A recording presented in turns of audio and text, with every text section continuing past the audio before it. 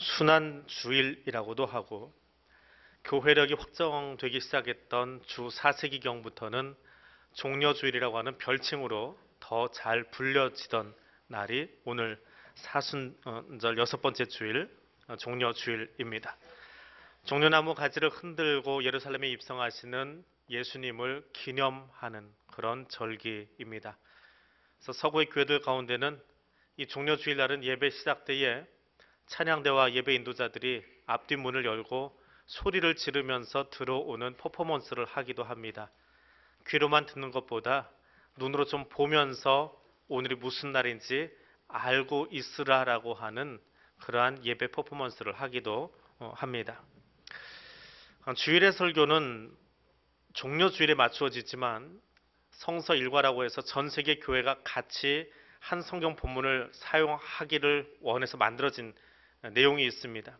그 성서 일과에는 고난 주간에 해당하는 본문을 끌어다가 종려 주일에 설교를 하기도 합니다. 그렇게 하는 이유는 Sunday Christian 때문에 그렇습니다. 주일날은 교회 나오는데 주중에는 교회를 나오지 않는 사람들. 그래서 이 고난 주간 기간 동안에 대체 뭘 하고 지나지 모르기 때문에 주일날 그것을 다 가르쳐 주니라고 종려 주일날 고난 주간 본문을 쓰기도 하는데 원래 종려 주일은 예루살렘에 입성하는 것까지의 의미만 우리가 되새김질을 하고 그리고 주중에 우리 계속 고난 주간 특별 새벽 기도회가 있는데 주중에 말씀들을 통해서 한 주간 일어났던 예수님의 행적을 따라가는 것이 고난 주간을 바로 지키는 모습입니다. 그래서 주일 종려 주일 설교에서는 십자가의 죽음을 묘사하지 않는 것이 특징이라고 합니다. 예수님이 예루살렘에 들어가신 이야기는 사복음서 기자가 모두 다 기록을 한 중요한 사건입니다. 예루살렘 근처에 있는 감남산 벳바게에 예수님과 제자들이 도착합니다. 예수님께서 제자들에게 마을에 들어가서 나귀 새끼를 가지고 오라고 명령하십니다. 그 명령대로 제자들이 가서 나귀를 끌어다가 그 위에 자기 겉옷을 펴고 따라가던 많은 무리들 대다수는 겉옷을 펴서 길에다 펴고 몇몇 사람들은 종려나무 가지를 흔들었다라고 이야기합니다. 환호성 속에 예루살렘에 들어가시는 예수님의 모습을 우리는 잘 알고 있습니다. 그 모습은 자유를 위한 행진입니다. 우리에게 자유를 주기 위해서 예루살렘으로 들어가고 계셨습니다. 그 자유에 대한 의미를 가장 잘 살펴볼 수 있는 것이 오늘 레위기에 나오는 희년의 이야기입니다. 희년은 자유와 안식을 선포하는 기쁨의 해이기 때문에 그렇습니다. 해방을 선포하는 해이고요. 그래서 이스라엘 백성들이 가장 큰 기쁨을 누리던 것이 희년입니다. 오늘 그 희년의 기쁨을 오늘 말씀과 견주어서 함께 살펴 보려고 합니다. 희년은 회개로부터 시작되는 자유함입니다. 희년을 지키기 위해서 백성들이 가장 먼저 하는 일이 무엇이냐 하면 속죄 일을 지키는 것입니다. 희년의 기쁨을 누리기 위해서 자유를 말하고 해방을 말하고 즐거움을 말하기 위해서 먼저 해야 될 일은 회개하는 일입니다. 땅을 돌려주는 것도 노예를 해방시키는 것도 중요한 사건이지만 회개하는 것이 우선입니다. 가난한 사람들에게 있어서 지난 50년 동안 어떤 이유로든지 땅을 저당 잡히거나 빼앗기거나 혹은 자기의 자녀들을 이웃의 노예로 삼았던 삶을 살아야만 했던 사람들. 그들은 희년을 목 빼고 기다렸을 겁니다. 나눔보다는 빼앗음이 우선되었던 모습 때문에 힘겹게 살았던 사람들 말입니다. 연인 사이에 가장 달콤한 고백은 무엇일까요? 사랑을 한 번도 안 해보신 사람들처럼 쳐다보고 계시는데 사랑이라는 고백이겠지요. 그러면 하나님과 우리 사이에 하나님이 어떤 말을 들으시면 가장 달콤해 하실까요? 그래서 회개하는 기도입니다. 사랑이라는 말은 상대방을 기분 좋게 하지만 회개는 회개하고 있는 나 자신에게도 기쁨이 있고 회개하고 돌아온 한 영혼 때문에 하나님이 가장 크게 기뻐하십니다. 다윗이 바세바와 불륜으로 무너진 뒤에 나단을 통해서 하나님이 그를 깨우치십니다. 다윗의 삶을 한순간에 무너뜨린 죄악 앞에서 다윗은 도망가지 않습니다. 하나님 내가 잘못했습니다. 회개합니다. 사랑합니다. 나의 예수님. 사랑합니다. 아주 많이요. 그 노래를 그 찬양을 하는 것도 중요합니다. 고백도 중요합니다. 그러나 죄인이 거룩하신 분 앞에 나가서 회개하는 것보다 더 중요한 것은 없습니다. 회개의 고백은 하나님을 기쁘게 하기 때문에 그렇습니다. 희년을 맞이하는 사람들 자신의 잘못을 회개하는 것에서 시작합니다. 그런데 죄에 대해서 둔해진 이스라엘 백성들이 왕정 시대를 겪으면서 이스라엘 왕조 시대를 겪으면서 레위기 법을 지키지 않습니다. 모세 이후에 바벨론으로 끌려갈 때까지 단 한 번도 희년의 법을 지키지 않았습니다. 법이 있다고 해서 온전한 것은 아닙니다. 자금의 이 나라가 힘들고 한국의 교회가 세상으로부터 욕을 먹는 이유는 혼란스러운 이유는 어디에 있습니까? 법이 없어서입니까? 그렇지 않습니다. 법은 있으나 지키지 않기 때문에 우습게 여기는 사람들이 있기 때문에 그렇습니다. 마찬가지로 예배 현장은 있지만 예배를 우습게 여기는 사람들이 있습니다. 하나님을 만나는 자를 우습게 여기는 사람들이 있습니다. 자기 편의대로 예배 드리는 사람이 있습니다. 내 입맛에 맞지 않으면 내 분위기에 맞지 않으면 그것 때문에 예배자를 옮겨버리는 사람들 하나님에게 집중하지 않고 내 편의대로 예배를 오고 가는 사람들 그들은 레위기 법을 무시했던 왕정시대 사람들과 다를 것이 하나도 없습니다. 자기 유익에는 관심이 있지만 자기 이익에는 관심이 있지만 공동체의 예배에는 관심이 없습니다. 신앙 공동체를 위해서 함께 협력하고 함께 배려해 주는 일을 하지 않습니다. 나만 하나님에게서 좋은 것 얻어 먹으면 그만인 내 기도만 응답 받으면 그만인 이기적인 마음이 교회 공동체를 신앙 공동체를 어렵게 하는 것입니다. 그 마음으로 희년을 십자가를 질 수 있겠습니까? 바벨론 포로 이전에 이스라엘 사람들에게 희년의 법은 이미 사문화되어 있었습니다. 죽어버린 법입니다. 진정한 희년은 사순절의 진정한 의미는 회개에서 시작되어집니다. 회개와 고백이 없이는 지킬 수 없는 것이 부활의 아침입니다. 다음 주일이 되어도 이 자리에 나오시겠지요. 그러나 고난주간 하나님을 깊이 묵상하지 않으면 우리가 기도의 자리에서 하나님을 더 깊이 만나지 않으면 부활의 아침은 그저 매년 지나가는 절기에 불과합니다. 그러나 하나님 앞에 깊이 회개하고 하나님을 만난 뒤에 우리가 경험하게 되는 부활절은 달걀 하나 받아들고 부활절이구나 하는 그 사람들과는 또 다른 예배를 드리게 될 것입니다. 부활의 주일에 앞서서 회개의 자로 먼저 나아가는 하나님의 사람들 될 수 있기를 원합니다.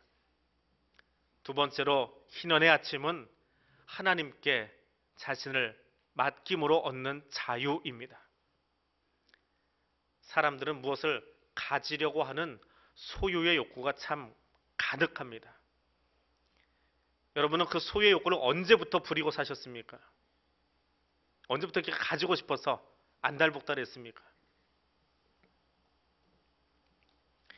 어린아이들이 기저귀를 차고 있다가 기저귀를 떼기 시작할 때 엄마들이 열심히 아이들을 어릅니다.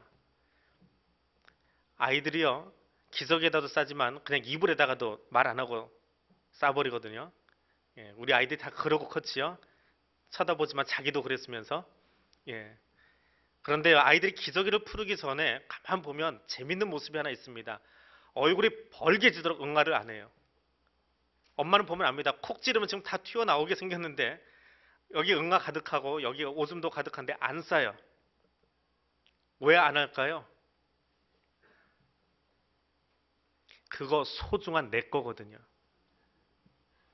그 웃으시는데 심리학에서 그렇게 이야기하고 있어요. 그건 소중한 내 거라서 내보내고 싶지 않은 거예요. 내 거예요.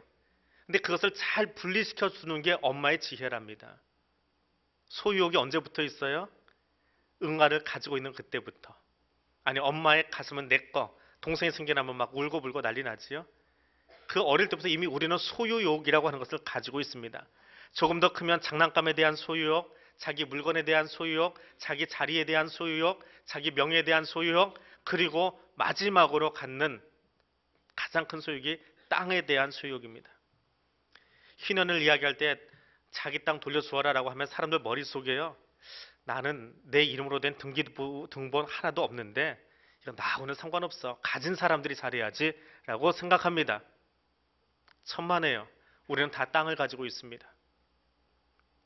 강아지를 끌고 밖에 나가면 이 녀석이 지나가다가 적당한 곳 봐서 한 곳에서 오줌을 다 싸놓고 그냥 가면 같이 걸어가면 좋은데 계속 줄이 땡겨져요. 왜요? 지나가는 전봇대마다 쉬야를 해요. 왜 그럴까요? 잘하시네요. 자기 영역 표시하는 거예요. 강아지만 그런가요? 사람도 똑같습니다. 이건 내 영역이에요. 이건 내 자리예요. 이건 내가 앉아 있어야 될 자리예요.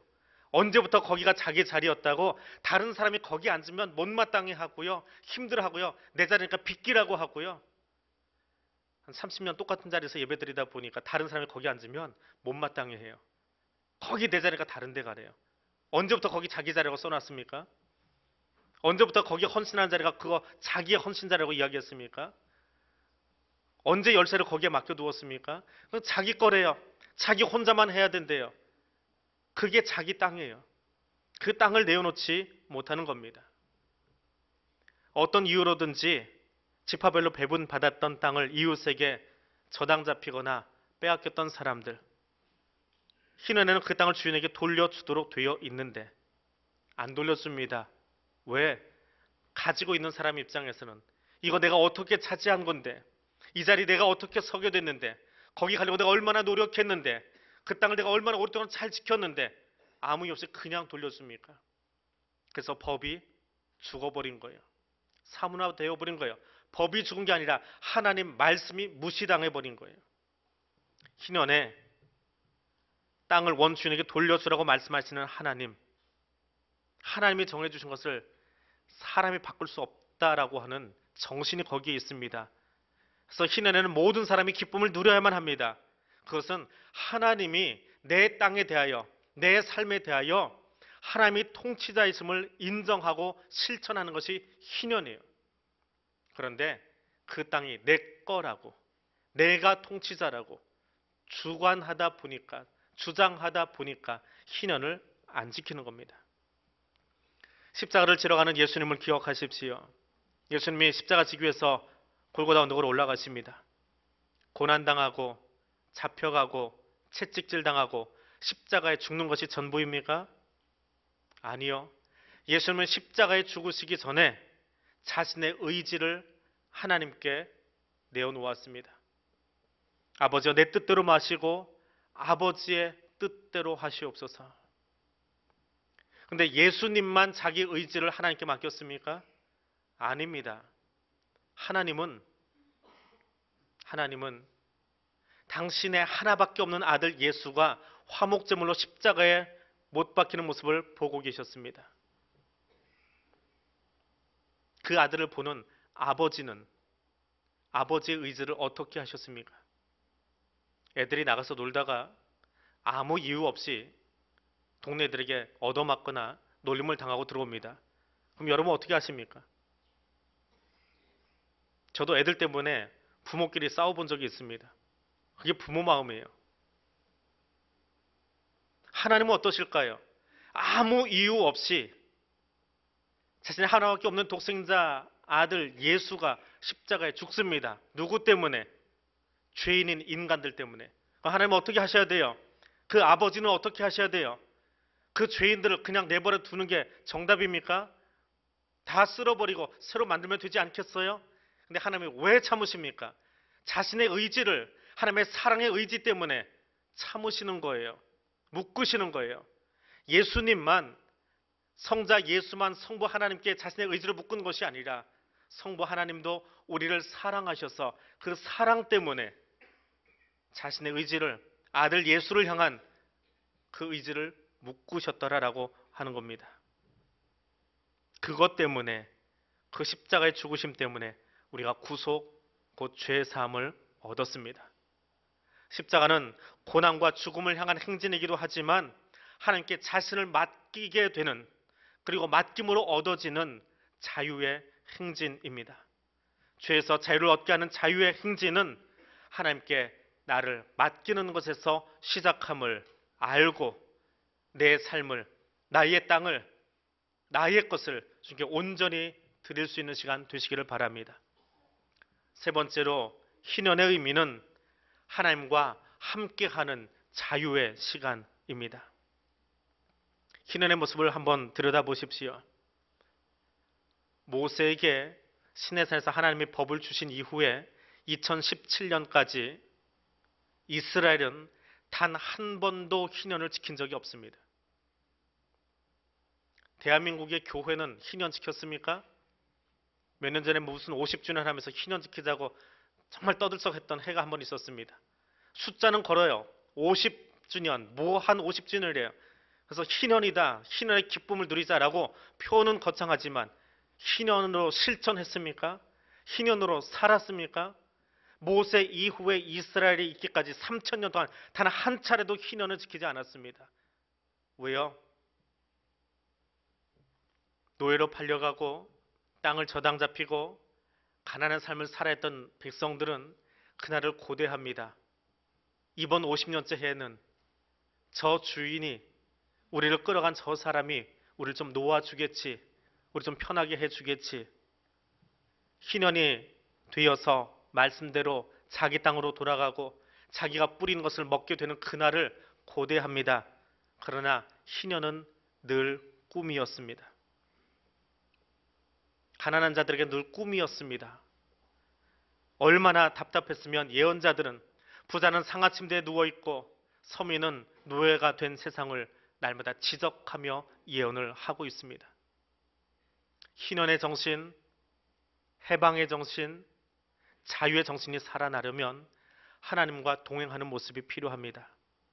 말씀을 듣는 것만이 아니라 들은 대로 실천하는 삶이 필요합니다. 형제 사랑하는 것이 하나님 사랑하는 것이라 했는데 희년을 맞아서 부활의 아침을 맞아서 자유와 해방을 맛보게 해줄 수 있는 나만 맛보는 것이 아니라 그것을 맛보게 해줄 수 있는 사람 될 수 있기를 원합니다. 하나님 안에서 형제를 향하여 이웃을 향하여 그것을 경험하게 해줄 수 있기를 원합니다. 예수님이 십자가 지고 올라가신 그 길, 그는 혼자 올라가신 길이 아닙니다.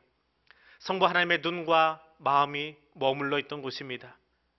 인류의 죄를 짊어지고 걸어가는 어린 양 예수를 바라보는 하늘 아버지의 마음이 머물러 있는 곳입니다. 우리의 죄를 용서하기 위해서 최고의 최선의 사랑의 방법을 선택하신 성자 예수의 마음이 머물러 있는 곳입니다. 고난 주간이 시작되어집니다. 그 첫날 종려 주일에 이날 우리가 기쁨의 노래를 부르려면 호산나 우리를 구원하여 주옵소서라고 외치려면 내가 하나님과 동행하는 것이 필요합니다. 예수님이 걸어가신 그 길은 고난의 길이지만 더불어 자유를 위한 행진의 길이었습니다. 우리를 구원하시려고 이 땅에 오셨고 나의 죄를 짊어지고 십자가에 올라가신 예수 그리스도를 찬양하는 귀한 날 되시기를 바랍니다. 죄에서 자유를 얻게 하면 찬송만 부르는 것이 아니라 나도 누군가의 아픔을 어려움을 덜어줄 수 있는 그런 기쁨의 삶을 살아가는 시간 될 수 있기를 원합니다. 종료주일은 우리에게 자유를 향한 행진을 시작하게 하는 기쁨의 날인 것을 기억하면서 회개의 자리로 나의 것을 주의 십자가 앞에 내어놓는 자리로 그리고 주님과 함께하는 자리로 나아가는 기쁨을 나누는 귀한 성도들 되시기를 바랍니다. 기도하겠습니다. 우리 예배를 받으시는 하나님, 우리 예배 가운데 임재하셔서 예배대 중심을 보시고 찬양을 들으시며 함께 하시는 하나님, 종료 주일 예배를 드리며 패배와 죽음의 문화는 우리에게서 떠나가게 하시고 불신과 미움과 시기와 질투의 거친 단어들은 십자가 앞에서 태워지게 하시며 하나님께서 우리에게 허락하신 자유의 행진을 옮기는 성도들 되게 하여 주옵소서. 예수님 이름으로 기도드립니다. 아멘.